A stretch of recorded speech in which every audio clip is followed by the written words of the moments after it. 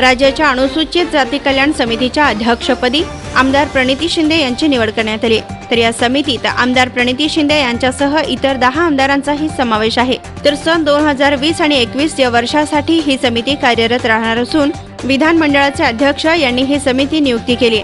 तर या समितीच्या प्रमुख आमदार प्रणिती शिंदे तसंच सदस्य म्हणून आमदार डॉक्टर बालाजी किणीकर आमदार संतोष बांगर यशवंत माने किरण लहामटे लहू कानडे लखन मलिक सुनील कांबळे नामदेव ससाणे टेकचंद सावरकर तसंच नरेंद्र भोंडेकर आदी आमदारांचा समावेश आहे.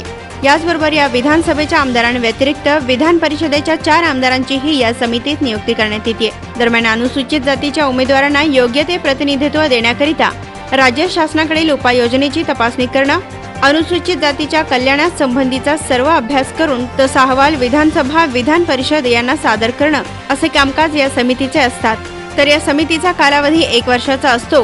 दरम्यान आमदार प्रणिती शिंदे यांची अनुसूचित जाती कल्याण समितीच्या प्रमुखपदी निवड झाल्याबद्दल सोलापुरात कार्यकर्त्यांमध्ये आनंद व्यक्त होत आहे.